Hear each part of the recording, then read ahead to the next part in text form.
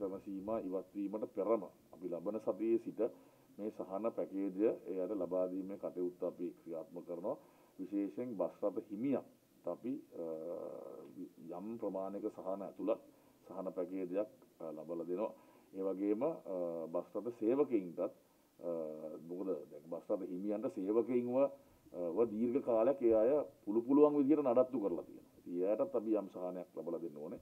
Bus රථ 17000ක් සඳහා ලංකාවේ පෞද්ගලික බස් රථ අන්තර් පළාත් සහ පළාත් බස් රථ 17000ක් තියෙනවා.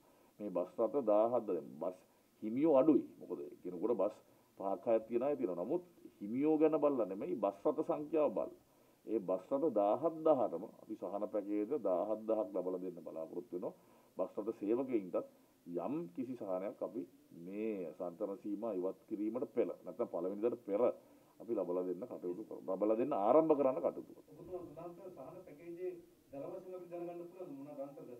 ඒකේ අන්තර්ගත වෙනවා නැවත මේ බස් රථ පාරට දැමීම සඳහා අවශ්‍ය සියලු දේවල් සඳහා අපි සහනාධාරයක් ලබලා දෙනවා. උදාහරණයක් ටයර් සඳහා ලිහිසි තෙල් සඳහා ඩීසල් සඳහා බැටරි සඳහා අමතර කොටස් සඳහා සහ ඉන්ශෝරන්ස් එක සඳහා යම් වටිනාකමකින් යුත් වෞච අපි මේකට අතුළත් කරලා තියෙනවා. එතකොට පළවෙනිද අපි දන්නේ නැහැ පළවෙනිද ඉවත් කරයිද කියන කාරණේ. නමුත් ඔබතුමාලා කිව්වාගේ සංචාර සීමා ඉවත් කරපු දවසට යම් කිසි ලක්ෂ විශාල ප්‍රමාණයක හැම බස් රථයකට මේ බස් හිමියට නෙමෙයි හැම රථයකටම අපි ලබලා දෙනවා.